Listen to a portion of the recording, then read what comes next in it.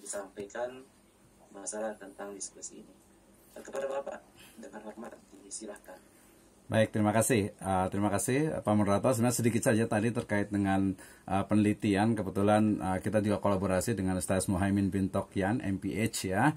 Uh, beliau adalah kandidat uh, dokter di UIN Suska di Pekanbaru, Riau sana gitu ya. Jadi uh, riset beliau ini sebenarnya terkait dengan uh, bagaimana uh, ini istilahnya itu apa? Kepedulian. Beliau itu mengajar di madrasah separuh masa di uh, Singapura di mana uh, madrasah separuh masa ini adalah satu madrasah yang disediakan untuk anak-anak muslim di Singapura yang mereka tidak boleh masuk atau tidak bisa ya lebih tepatnya. Tidak bisa masuk ke uh, madrasah yang uh, full time atau uh, madrasah sepa, apa sepenuh masa. Nah, kemudian uh, ternyata yang terjadi adalah bahwa pelajar-pelajar di madrasah separuh masa ini penguasaan terhadap terhadap Al-Qur'annya itu sangat kurang ya sehingga kemudian uh, metode sudah dibuat oleh MUIS dan sekarang uh, sebagian uh, kerjasama juga dengan Ilham ya satu institusi untuk uh, pengembangan madrasah yang ada di Singapura. Uh, for your uh, for your information bahwa madrasah di Singapura ini adalah uh, satu lembaga pendidikan Islam yang memang sampai hari ini eksis dan uh, sangat luar biasa sekali terutama yang uh, madrasah yang uh, full time atau madrasah yang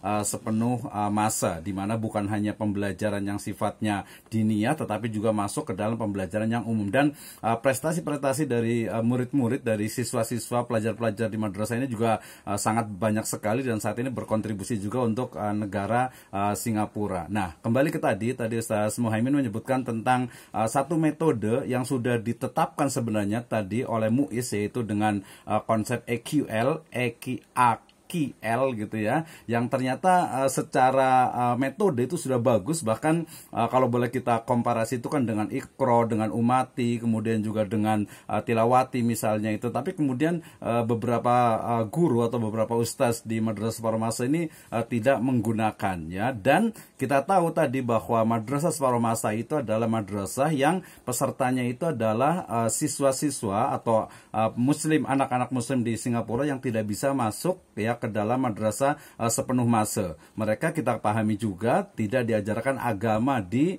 uh, sekolah uh, negeri gitu sehingga kemudian uh, satu solusi menurut saya ini solusi yang sangat cerdas dari uh, muslim Singapura itu adalah ya dengan mengadakan madrasah separuh masa atau uh, madrasah hujung minggu. Nah, sayangnya ya seperti dengan uh, ya tantangan ataupun cabaran bagi anak-anak muslim saat ini dan di Singapura itu lebih kuat lagi cabarannya ya kalau di Indonesia alhamdulillah TV gitu ya masih ada uh, lembaga sensornya kemudian juga media dan sebagainya. Di Indonesia masih banyak sensornya ya. Tapi mm, dengan uh, di Singapura mungkin dengan tidak ada pembelajaran agama di sekolah negeri kemudian akhirnya dibuatlah madrasah separuh masa nah di sini peran dari guru uh, kemudian juga peran dari ustadz dari peran dari orang tua ini menjadi satu problematika yang menurut saya kita bisa uh, explore lagi lebih luas lagi tentang seperti apa sih sebenarnya eksistensi dari madrasah yang sepenuh masa, kemudian juga madrasah separuh masa dan tadi uh, konsep yang merupakan disertasi dari Ustadz Muhammad bin Tokyan MPH ini adalah